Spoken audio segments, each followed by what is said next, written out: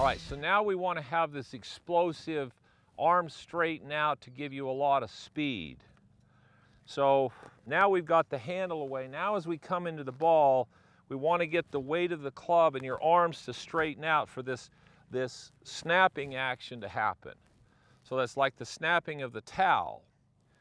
So now we're going to get width or arm straight, not by straightening your arms. See, that, that's where we get in trouble here. What's going to happen is now, as I'm coming into the ball, I move force from my right foot into my left foot.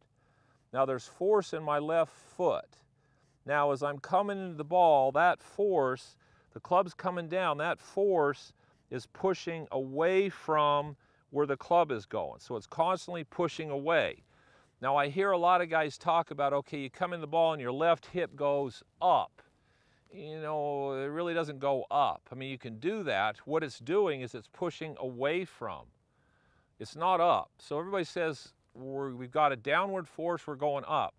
A golf swing isn't necessarily straight down. What is it? It's on an inclined plane. So as the club's coming in on this angle, if you're going to offset that angle, you have to be pushing away parallel to that force. So if the club's coming on this angle and you're pushing up, you're going to get pulled off balance. So it's not up, it's back away from. So now, as I come into the ball and hit the ball, as I'm pushing away, that push away straightens my arms. So I'm not forcing my arms straight, it's me pushing away that's straightening my arms. So my arms are relaxed, so they create a lot of speed. What happens with the club after you hit it?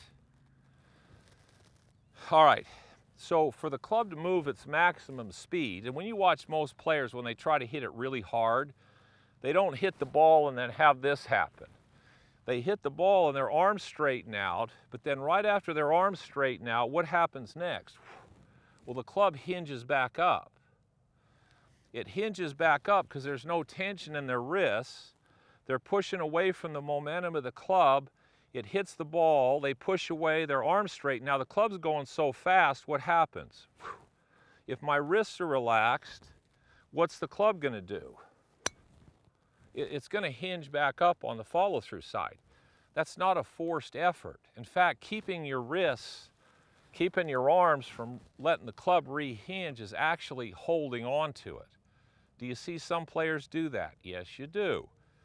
Can a lot of them get away with it? Yes, they can, but they're using a lot of effort to do that. A lot of them are trying to stabilize the face. Right now, for most of you, you want speed.